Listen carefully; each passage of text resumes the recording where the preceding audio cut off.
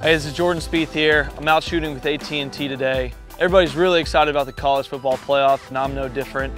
So we've found a unique way to team up in order for me to make my picks on who wins the semifinal games and ultimately the national championship. Let's make these picks. Game number one, I got Alabama. Game number two, a little more difficult, but I'm choosing Ohio State. Let's go down there and see who wins it all. Everyone will be really pumped up for this national championship game, being a rematch from a couple years ago. I think one team takes the lead in the first half, but I think the winner comes from behind in the second half.